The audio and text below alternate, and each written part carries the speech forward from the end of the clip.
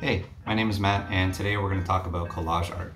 Maybe you've seen some cool pictures online, in advertisements, or in art galleries that look like this, or this, or this.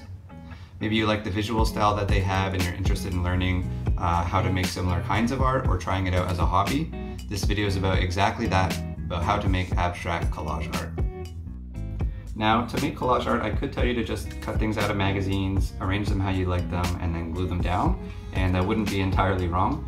Collage art is a very accessible and not too technically demanding form of art, but there are a few things that you may want to consider, especially if you're a beginner, that will make this experience even more enjoyable.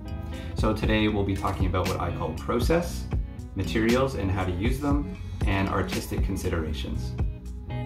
By process, what I mean is the things you do outside of actually cutting and pasting things together that are related to collage.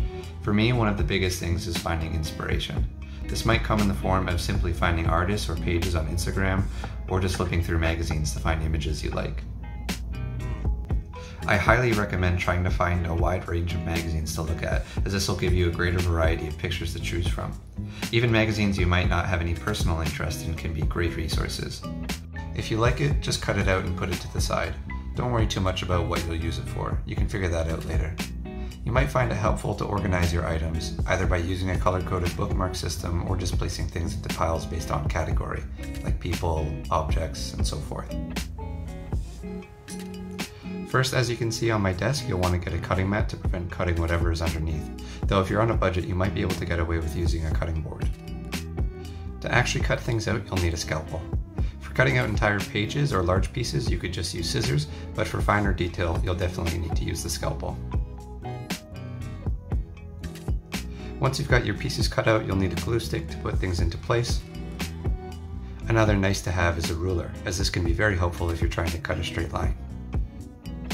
If you're totally new to collage, it might be easiest to only stick with magazine cutouts at first, but if you're up to it, I highly recommend trying out different objects and materials too. Collage is an incredibly creative art form, so don't limit yourself. Try using string, leaves, fabric, photographs, or anything you can think of. Once you start putting your piece together, that's when you can start thinking about artistic considerations, such as color, composition, balance, and so on. However, art is largely subjective, and collage art in particular prides itself on breaking the rules. So don't worry about whether you're doing things correctly or if you don't have much art making experience. Just do what feels right what looks good to you, and what makes you happy.